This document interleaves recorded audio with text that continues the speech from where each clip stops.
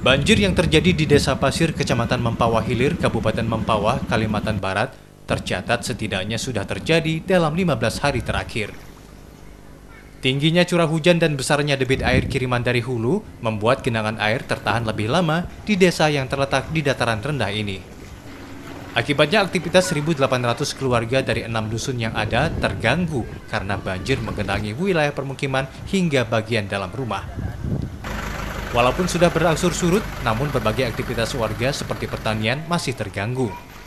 kurang lebih 15 hari lah di Hamin 3 Lebaran airnya udah mulai naik ke wilayah terutama dusun Sukirama yang terendam jadi dengan adanya curah hujan yang sangat tinggi jadi sampai sekarang pun macam macam itu Berapa rumah bang terdampak?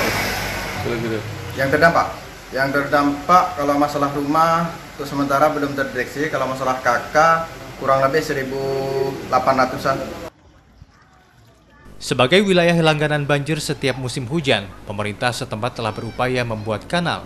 Namun upaya ini belum membuatkan hasil. Setiap musim hujan tiba, masyarakat hanya bisa bertahan dengan membuat panggung sederhana di dalam rumah untuk menghindari genangan air. Setiap musim hujan tiba, masyarakat hanya bisa bertahan dengan membuat panggung sederhana di dalam rumah untuk menghindari genangan air. Anugerah Ignasia, Kompas TV Pontianak, Kalimantan Barat.